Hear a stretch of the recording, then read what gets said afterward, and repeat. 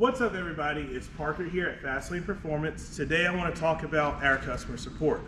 With our shop, you get a three-year warranty that's included with your build. That warranty covers the install. It doesn't cover the parts because even though we use quality name brand parts, parts are still part of a machine and machines break. Also, there's things a customer can do to break a perfectly operating part. But as far as the installation, the tuning, you get up to three years support with almost every package we offer. We do that because we actually care. It's not so much about the money here at Fastlane, it's more so about we all have the passion for what we do and we want it right. So with that said, majority of our packages have a three-year warranty. I say majority because we have full race car packages that don't carry an extensive warranty just because there's so much work involved, so many parts involved, and the cars are ran so competitively, it's a little bit different story. We still honor a warranty with that, but not a three-year warranty. So with that said, I want to talk about a special case. We came this Hellcat a few months ago, returned it to the customer. When it was in our shop, it passed all of our tests. The car ran and drive, drove great, made great horsepower. Had no issues with it. Once we returned it to the customer, he drove it around for a few weeks, few months or so, and then he ended up calling the shop saying that his car's not running right. And being more specific, the customer says something along the lines of, you humiliated me, I have the slowest Hellcat in the country, my car runs like utter, lots of bad negative words. And throughout that process, before we can even arrange to get the car here, he started going on rants on Facebook, talking about how bad our facility is and the crappy work that we do. So I want to talk a few things about that. With this car and going back to how you should handle a built car, once we got the car shipped to us, we paid about $1,000 to have the car shipped to us, which is more than we should have because the customer lives in a rural area and no truck wanted to pick up the vehicle. So we actually raised the price to around $1,000 to get the car shipped to us. Once the car shipped here, we have a video of the car starting up, running off the trailer. The car sounded great.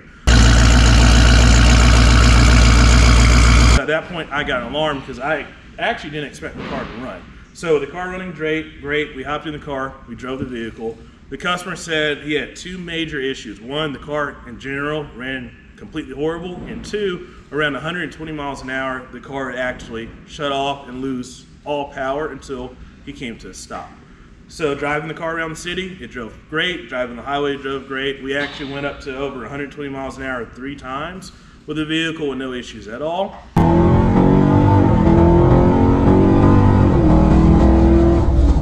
Put the car on the dyno, examined everything underneath it before running it on the dyno. And then we put on the dyno, ran the car. We actually made more horsepower this time than when the car's at our shop last time. Reason why is it's a little bit cooler outside, the car's not heat soaked, and the E85 is a little bit better quality than what we had last time. So after making great power with the car, not finding a single issue, we called the customer saying, hey, I need to know what's really going on with the vehicle. The only thing I can think of is it's something to do with like heat soak. We were talking to the customer for quite some time. He ended up eventually telling us that he lets the car idle for 30 minutes to up to two hours before racing the vehicle at the track in the staging lanes. What I do at the racetrack, mm-hmm. my car sits in idles, basically continuously for a couple hours. The car's just idling until I get on the line. Then I do a small burnout, mm-hmm. not a big one but just a small burnout. And then I run it the quarter mile, right back around the track and sets back in line. And the cars keep up so I don't shut it down. Right. So it just sits there and idles. And the temperatures get way up. So what if? So immediately at that point we go, whoa, you really can't let a car idle for 30 minutes to two hours before running it hard. There's no different than an Olympic sprinter jogging in place for 30 minutes to two hours before doing a full-blown sprint down the field or the track. So with that said, we looked further into it. We were able to look at some logs a customer previously sent us, and we noticed that the IATs, the intake air temperatures, were getting up to 220, 230, almost 240 degrees. That's very, very hot.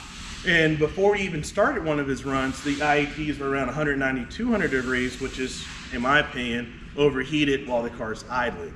So with that said, with Hellcats, they have a feature, it's a fail-safe mode. When the supercharger gets so hot, it will literally shut the car down and make no power to keep you from essentially melting the supercharger, melting the motor, because you're forcing hot air into a motor. And with that said, the car actually did everything it was supposed to. It cut down on power and it kept him from blowing up his motor.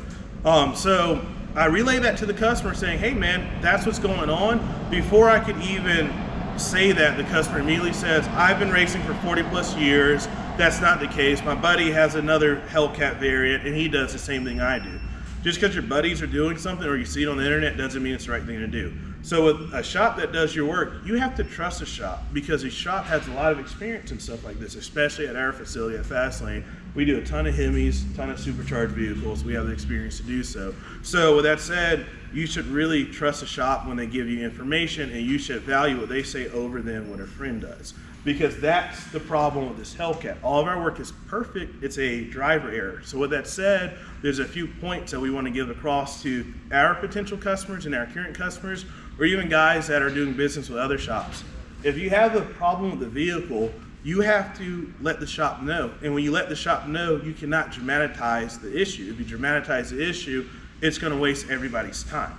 This issue could have been a simple phone call. Hey man, instead of letting it idle for 30 minutes to two hours, let's try letting the car sit with the engine off and then move the car to the staging lanes when you're ready. Don't let it idle, and he would have had great success with the vehicle. So that's very important not to dramatize the situation. Secondly, if the shop is offering to bring the vehicle back, you really should heavily consider it and do that because most shops, especially us, want the car right. So you have get the car back to us, and we have to do it all over again, even if it is an issue on us.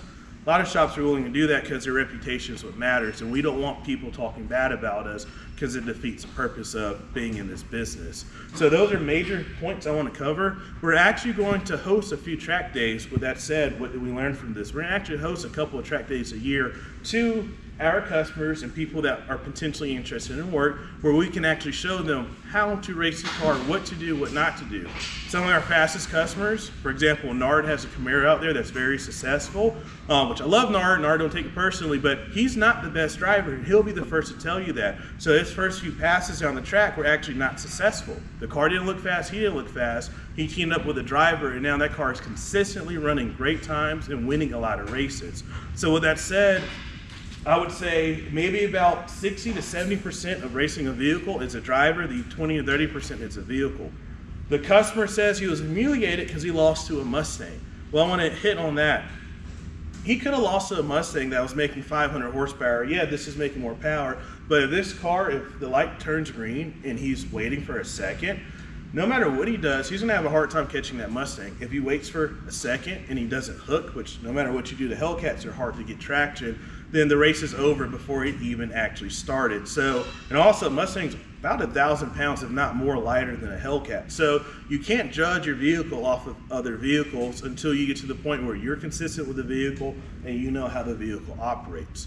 So that's all I have to say. If we have any customers after watching this video, we have any customers out there that are upset with their vehicles and there's something going on, you need to call the shop or schedule time to come in in person and talk with us because we don't want anyone out there without a vehicle that's running 110%. And you would be surprised the efforts we go through to get the vehicle perfectly. We've got to ship the car here. We've got to take the engine out and go through it. Whatever we have to do, let us know.